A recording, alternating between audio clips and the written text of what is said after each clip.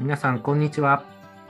本日はご対応の中、令和3年度観光地域づくり実践未来塾連続講座第5回を視聴いただき誠にありがとうございます。私は進行を務めます上越市観光交流推進課の南と申します。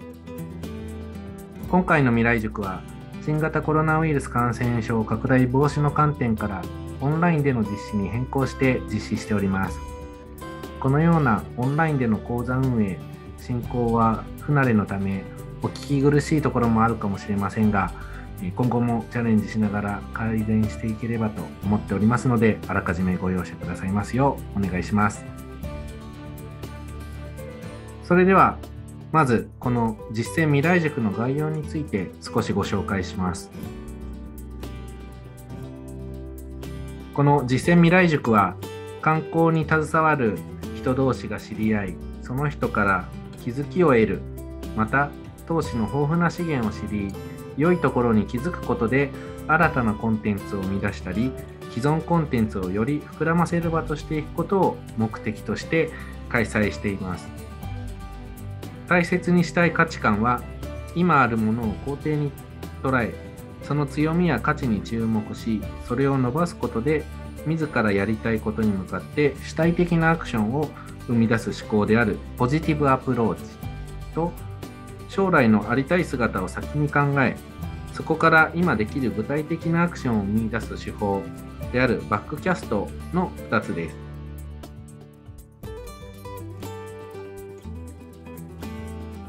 くしくもコロナ拡大と期を同じく令和2年度から未来塾をスタートしたため令和2年度はオンラインで2回令和3年度はリアルで4回そして今回えオンラインで5回目を開催することになりました。右上にあります二次元バーコードから過去の開催をまとめたニュースレター、ホームページ等ご覧になりますので、お時間のある時に見ていただければと思います。そして今年度第5回目、今回の未来塾はですね、テーマをあっと驚くコラボレーション連携している人と生み出されたものから学ぶと題してさまざまな業種同士で連携している皆さんから事例発表をしていただき連携の在り方や視聴者のご自身の連携のヒントになるような講座となればというふうに思っております。今回はこちらのお品書きの通り前半部分と後半部分でそれぞれ別々の動画ファイルとなっています。したがって1組目の事例発表が終わりましたらこの動画は一旦終了し2本目の動画に移らせていただく形になります。それぞれ約30分程度の動画が2本ありその2つを合わせて1つの講座というふうな形になりますのでごご承知おきください。以上でイントロダクションを終了いたします。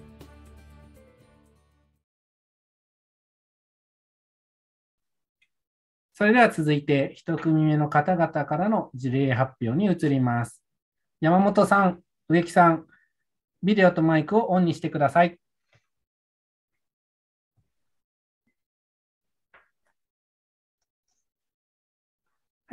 こんにちは。どうぞよろしくお願いいたします。よ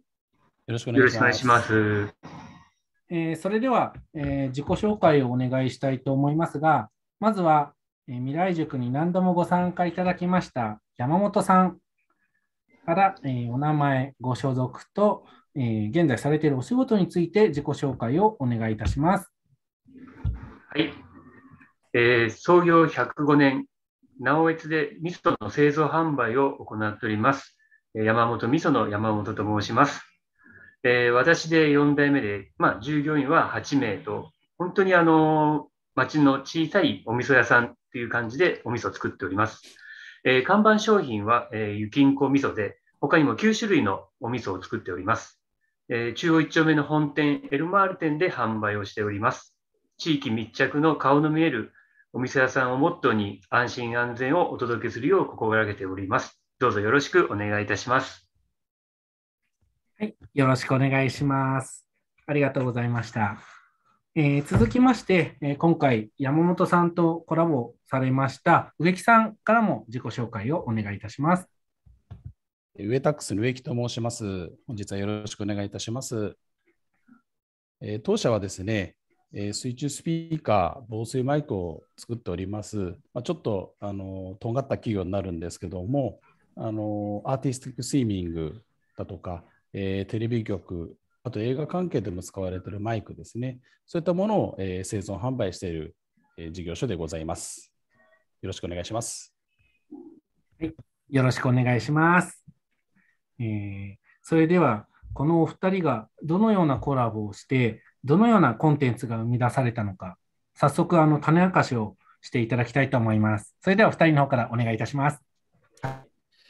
えー、それは、えー、当社水中スピーカーを直接、えー、味噌だるに入れて、えー、音楽を聴かせて発酵熟成させたお味噌です。ありがとうございます。えー、あっと驚くコラボレーションの一つ目の事例は、なんと水中スピーカーを直接樽に仕込んで、えー、音楽を聴かせながら熟成した、えー、お味噌でした。はい、えー、それではお二人から、えー、早速そのお話をお聞きしたいと思うんですが、その前に、このお味噌が、えー、どのようなものなのか、えー、山本味噌さんの、山本さんの工場にお邪魔して、えー、少し取材させていただきましたので、まずはこちらの動画をご覧ください。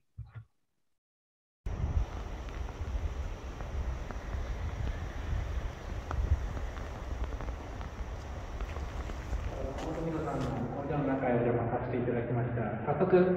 中に入りたいと思います。失礼します。失礼します。皆さんよろしくお願いします。大体3と仕組みが形で、ほぼこの雪んこ味噌です。ね。これをもうこの部屋で発酵実践す。るような形で、で、の国産の丸い米を使って、レーザーも自分で県産の大豆を使って、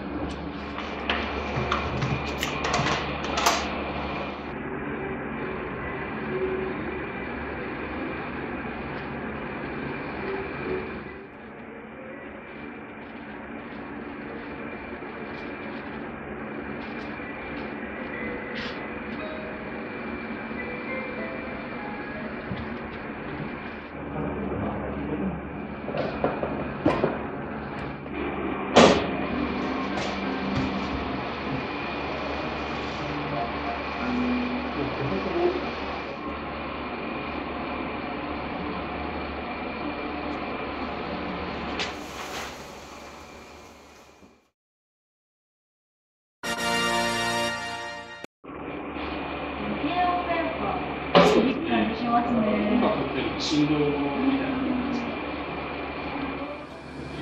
ああ揺れてる。あすごい。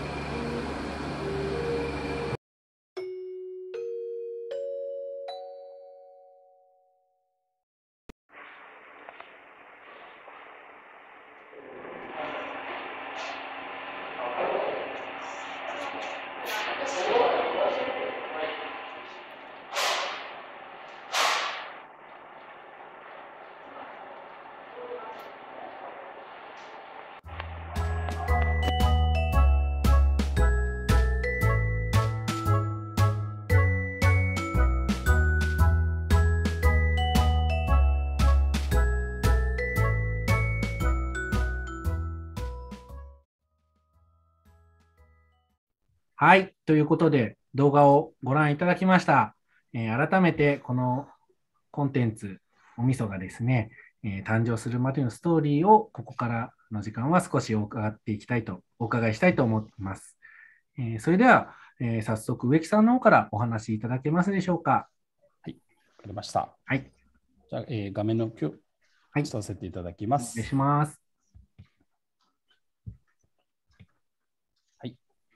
見れてるでしょうか？はい。はい。えーまず簡単にですね、あの当社、じゃあどんな会社なの？っていうことでですね、あの簡単にですけども、紹介させていただきます。えー当社はですね、えー1986年、えー今年で創業36年になるんですけども、えー従業員がに29名おりまして、主に、えー水中スピーカー、防水マイク、まあ、ダイビング機器、まあ、こういったものを、えー製造販売している会社でございます。でですね、えー当社の取り組みなんですけども、えー販売実績としては、えーまあ、水中で音を出しますので、えー消防、警察、海上保安庁、まあ、こういったどちらかというとレスキュー関係のお客様、あとは、えー昨年、え東京五輪もありましたけども、えーアーティスティックスイミング、えーシンクロナイズスイミングですね、こちらの方で、正式に採用されまして、水中スピーカーの方も使ってもらいます。あとはあのリゾート関係だとか、水族館、海語りにも入ってますけども、まあ、そういったところに販売をしております。で今回の音と合わせたブランドなんですけども、えー山本味噌さんとちょっとコラボしまして、えー実際にまあ味噌の樽の中にスピーカーを入れて、え発酵熟成をさせています。じゃあ実際にじゃあスピーカーを味噌の中に入れたらどうなったんだろうということで簡単に説明させていただきます。え開発はですね、約1年半かかりまして、やはり食品ですので、えまあ、金属製を用いてですね、え熱滅菌をしても、え影響しないという耐熱式の、えスピーカーを作りました。で従来のスピーカーとの違いなんですけども、やっぱり我々は、まあ、プラスチックという素材を使っているスピーカーですので、あのまあ、金属にすることによって、まあ、熱滅菌ができるということで、えーまあ、耐熱性はだいたい100度ぐらい、120度ですね、ぐらいありまして、まあ、衛生上もまあ問題ないだろうということで、えー作っております。これをまあ直接、えー樽の中に入れることによって、味噌を味噌にまあ音楽、振動ですね、これを加えることができます。で長時間使用しても熱のスピーカー、熱の少ないスピーカーですね。まあ、これがちょっと我々の課題だったんですけども、あのこれもですね、ちょっとスピーカー自体が約2キロぐらいありまして、ちょっと重いんですけども、まあ、そこが放熱をするための、まあ、機構、構造ですね、ここを加えております。開発試作実験取り組みなんですけども、えーもう直接山本美噌さんともやってるんですけども、えアドバイザー的なところでですね、え信州大学の繊維学部さんと共同になりまして、え産学連携という形も取っております。でこの中に、え我々もあの上司の補助金も活用しまして、より製品化に向けてですね、あの山本美噌さん、信州大学さんとですね、組みまして、開発の方を進めました。まず、まあ、我々工業製品が多いんですので、えー衛生管理法というかちょっとわからなかったところで少し今我々も勉強したというところが一つ。その中で、えーそこでも応じた部品調達ですね。まあ、このあたりも、えー当社の方で少し勉強しながら学びました。で、この中でやっぱり耐熱性、耐久性を高めるっていうところが、やはりあの難しいっていう中でですね、特に、えー溶接、これはあの金属を溶接するんですけども、まあ、ちょっと薄い振動板というものを使ってますので、なかなか、えー難しくてですね、この辺はあの地元の企業さんに何回か試作をやっていただいて、えー作ってます。あとはあの密閉性ですね。やっぱり防水にしなければいけませんので、えー内圧をかけてですね、えー漏れがないかという確認も当社の方でしております。あとやっぱり一番は塩分ですね。ぱりお味噌もお塩が入ってますので、まあ、塩分に強い構造ということで、えそこが一番、まあ、我々の中でもステンレスっていう素材を使いまして、え温水、海水に対応できるものをえ作っております。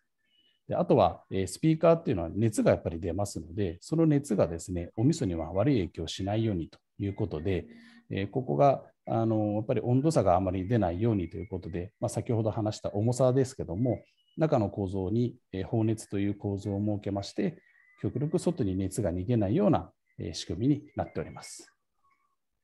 あとですね、まあ、24時間3ヶ月、まあ、音楽を流すということで、今のところ3回目仕込んでますけども、えー、まあ、簡単にお味噌を洗ってですね、動作確認ということで、え問題なく使用できていると思います。あと、ま、開発の展開ですね。まあ、お味噌をはじめ、まあ、これから植物だったりとか、あとは海洋実験ですね。そういった資源、そういったところに、まあ、使われているというような形で、我々も今進んでおります。ちょっと簡単ですけども、えー、説明させていただきました。以上です。はい、ありがとうございました。はい、ありがとうございました。はい、えー、まあ、こう信州大学さん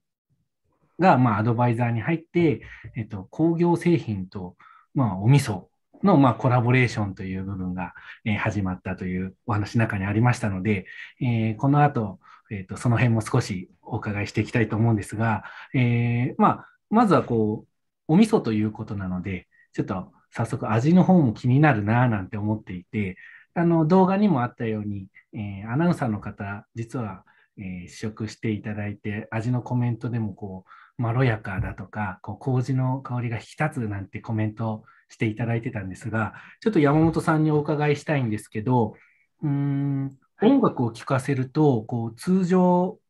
寝かせたお味噌と、なんかこう味とか、なんか発酵具合だとか、その辺の違いって何かあれば教えていただきたいんですが、いかがですか？はい、そうですね。まず、音楽を聴かせたことによって、はい、発酵熟成のスピードがやっぱり明らかに速くなりましたね。はい、通常のあの音楽を聴かせてないあのお味噌の大体約2倍ぐらいの速さで発酵熟成があの進んだ感じになりました。2倍ですか？そうですね、はい。なんかこう、科学的な根拠とかって解明されてるものなんですか？いや、そこら辺はね、やっぱりちょっと 信州大学さんの方にもお願いしたいんですけど、なかなかそこら辺が、あのー、まあ、エビデンスがなかなかちょっと取れないんですけど、やっぱりそれが微生物の力であり、発酵、発酵の、あのー、まあ、力なのかなっていうような感じはしますね。なるほど。まあ、事実、スピードが速いっていうこともあるわけですもんね。はい、あの味の方って何か違いとかってございますか？そうですね、味のはね、あのー、やはりあの、麹の甘さが引き立つ、そんなようなお味噌になりましたね。やはり、あのー、これもね、あのー、まあ、科学的には証明されている、まあ、音楽を聴かせることによって麹の甘さが引き立って、まろやかなお味噌になったっていうような感じですね。なるほど。ありがとうございます。えっと、こう先ほどのスライドで連携する信州大学、まあ、産学連携の事例ということだと思うんですけれども、えっと、植木さんにちょっとお伺いしたいのが、最初こう、スピーカーを味噌に直接入れるっていうような発想を、まあ、聞いたときって、なんか大丈夫かなとか不安に思った点とかってありましたか？そうですね、食べ物に入れるっていうこと自体がまず我々も経験がありませんでしたので、実際入れたらどうなるんだろうっていう、まあ、不安もそうですけども、はい、あのやっぱり特に塩分の強いものに入れますので、そこがまあどこまで持つのかっていうのは、ちょっとしょあの正直心配なしたところはありましたね。なるほど、耐久性の部分とかね、あの塩塩分っていうのがやっぱ、僕も素人ですけど、大丈夫なのかなとかは、はい、確かに思いました。山本さんは、なんかいかがでしたか？こう、この最初やってみようっていうお話聞いたときって。そうですね。あの、実はあの、音楽を聴かせて発酵熟成っていうのは全国でも、まあ、お味噌にしかり、お酒にしかり、やっぱりやってるとこは、あの、あったんですけど、うん、まあ、それはあの、例えば、部屋全体に音楽を聴かせたりとか、うんうん、あとはあの、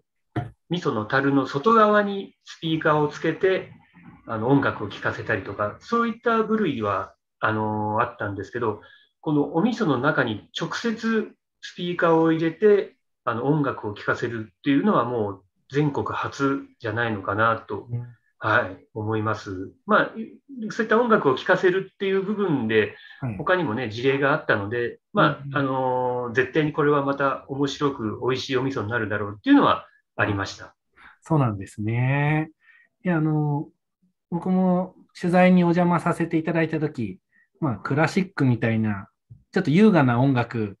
でね、あの、かかっていたんですけど、なんかジャンル的にこう、今までどんな音楽流したとかあれば、そしたら植木さんの方からちょっと教えていただきたいんですけど。そうですね、まず、あの、単一の音、うん、要は、あの、ピーとかプーとかっていう単一の音をずっと流すっていうのが一つと、あとはまあクラシック、ロック、あとはまあ、えー、っと、クラシックなんだけど、ちょっとこう周波数成分の多い音楽、まあ、こういったものを何種類か試させていただいて、でその中でまあ一番あのスピードの速い、で味が、まあ、これは個人的な主観になっちゃいますけども、はい、まあ、美味しいなっていうあの曲をまあいくつか用意をして、それで入れてます。うん、そうなんですね。やっぱ、えっと、いろんなお味噌の味をこう普段から食べられている山本さんにとって、そのロックとかクラシックとか、まあ、単一の音とかで、それぞれやっぱ違いってわか明らかに分かったもんですか？そうですね、まあ、最初の実験段階では、その3種類、えーまあ、正確に言うと音楽を聴かせてないお味噌も含めて、まあ、4種類のお味噌を、まあ、いろいろ比べて、やはりその中で、まあ、色のつきが早かったり、遅かったり、やっぱり音楽によってそこら辺も変わってきてたので、うん、まあ、その部分は、あのまあ、植木さんの方に、あの、まあ、お任せして、一番、はい、まあ、これ、ここら辺がいいよねっていう部分の、あの音楽を選んでいただきました。そうなんですね。その、ね、これからもこう、いろいろな音楽、あの、まあ、鉄道の走行音とか、なんか、ね、いいですね。の街ですし、はい、ね、あの音音にまつわるものをね、いろいろこうやることで、この本当、植木さんの会社の技術と山本さんのところのコラボレーションという意味では、本当、上越ならではのお味噌になると思うので、これからもいろんなこう音楽をとか音を聞かせていただいて、こういろんな展開、広がっていくのを楽しみにしています。はい、えっと、ここまでいろんなお話、えっと、お伺いしてきました。えっと、そろそろ時間が近づいてまいりましたので、えー、最後にですね、えー、今後の展望と、えー、見ている方へのメッセージをお二人から頂戴したいと思います。まずは植木さんからお願いします。はい、あの今後はですね、先ほど南さんおっしゃいましたけども、やっぱりこう地元は、まあ、上越市は発酵の町で歌ってますので、やっぱりよりその発酵をま促進するというところで、このスピーカー、音ですよね。いろんな分野、これはまあ醤油だったりお酒だったり、あと我々はま農農業、漁業ですね。まあ、こういった分野にもですね、あのいろいろと幅広くまコラボはしていきたいと思いますので、あのぜひあのそういった事業所さんといろいろコラボしてですね、まあ、この上越をもう少しこう盛り上げて、あのいいあの商品を作っていきたいなと思います。はい。はい、ありがとうございます。あの観光って本当に裾野が広い分野、総合産業と言われていて、一見こうスピーカーを作っている植木さんも観光に関係ない分野とも思われるかもしれないんですけど、本当にこういう形でのコラボレーションというのは、非常に上越市ならではの付加価値が乗ったものになってくると思うので、ぜひとも今後の連携楽しみにしております。続いて山本さんの方からお願いします。はい。えーまあ、このね、お味噌に関してですけど、まあ、このお味噌はいろいろなご縁と、あのね、植木さんのご尽力とご協力でできたあの商品になっています。えー、この味噌を通じて、その背景にあるあの上越の歴史だったり食文化、あと工業製品の技術力の高さを上越市内外や、まあ、全国の方に知っていただいたというのが、まあ、味噌を売るだけじゃなくて、まあ、こういった形で、あの、工業製品も知っていただいたっていうのがすごく良かったなと思っております。まあ、今回このね、商品っていうのは、企業と企業の強みが、あの、合わさってできたものかなと思っております。今後もまあこのような機会があればまたいろいろチャレンジしていきたいなと思っておりますので、どうぞよろしくお願いします。はい、ありがとうございます。本当にこのお味噌だけではなくて、まあ、山本さんもね、伝統ある、えー、お味噌屋さんで、その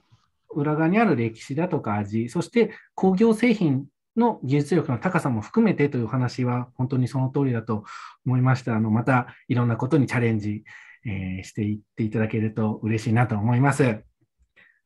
はい、えー、ありがとうございました。えー、あっと、あっと驚くコラボレーションの事例、えー、お一組目は、えー、ウェタックスの植木さん、そして山本美沙の山本さんから、えー、水中スピーカーで、えー、音楽をこう聴かせながら熟成した、えー、お味噌についてご紹介いただきました。植木さん、山本さん、どうもありがとうございました。ありがとうございました。ありがとうございました。